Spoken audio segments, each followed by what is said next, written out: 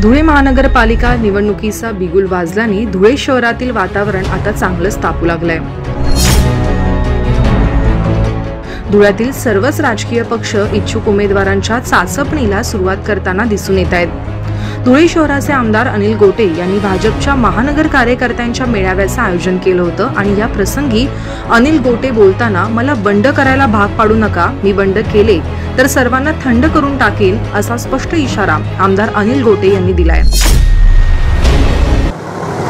बाबासाहेबांनी काय सांगितलं जर निर्णय चुकीचा असेल तर त्याच्याकडे जो बंड करून उठतो तोच खरा माणूस आहे तोच खरा स्वाभिमानी आहे आणि तोच नवीन काही निर्माण करू शकतो. वेगळा मला बंड करायला भाग पाडू नका. मी जर बंड केलं तर तुम्हाला थंड केल्याशिवाय राहणार नाही. कोल्ड स्टोरेजमध्ये टाकून देईल. तसेच महापालिका निवडणुकीसाठी ज्या दिवशी आचारसंहिता लागेल त्याच्या दुसऱ्या दिवशी शिवतीर्थावरती भव्य सभा होईल आणि त्यात महापौर पदाचा उमेदवार जाहीर केला जाईल असं आमदार गोटे यांनी स्पष्ट केलंय. आमदार अनिल गोटे यांनी भारतीय जनता पार्टीचे इच्छुक उमेदवार आणि कार्यकर्त्यांचा भव्य मेळावा पांजरा चौपाटीवरील घेण्यात आला असून या मेळाव्यासाठी कार्यकर्ते मोठ्या संख्येनं उपस्थित होते.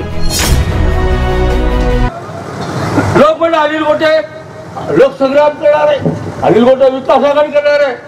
अरे तुमच्या मनात आहे ते अनिल गोटे काही करणार नाही. अनिल गोटे हा कमळाचा झेंडा या भारतीय जनता पक्षाचा या महापालिकेवर लावल्याशिवाय राहणार नाही.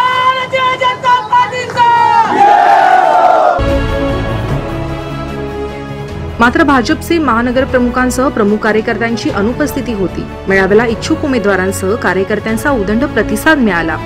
या मेळाव्यात बोलताना आमदार गोटे म्हणाले की मी लोकसंग्रामकडून निवडणूक लढेन. विकास आघाडी स्थापन करेल असं काहींना वाटत होतं. पण माझ्या रक्तारक्तात भाजप भिनलेलं असून आमचा झेंडा भाजपचाच राहील असं गोटे यांनी स्पष्ट केलंय. आम्हाला कोणी भाजप शिकवायची गरज नाही. आमच्या रक्ताच्या थेंबा थेंबात भाजप आहे. आमच्या रक्ताच्या थेंबा थेंबात हिंदुत्व आहे. आम्हाला निवडणुका कशा लढवायच्या हे शिकायसाठी कुठल्याही बाहेरच्या शाळेची गरज नाही. अरे आम्ही तर जन्माला पैदा झालो वेळेस शिकत शिकत आलेलो आहे. काय सांगतो निवडणूक कशी लढायची हे शिकवण्यासाठी बाहेरच्या शहाण्याची गरज नाही. महापालिकेत सत्ता आल्यास पाचशे बत्तीस किलोमीटर रस्त्यांची कामं दररोज पाणी दिलं जाईल एकाही पक्षाची दादागिरी चालू देणार नाही असा इशारा आमदार अनिल गोटे यांनी दिलाय. कुशाल पाटील महाराष्ट्र लाईव्ह धुळे. महाराष्ट्र लाईव्ह नव्या पिढीचं नवव्यासपीठ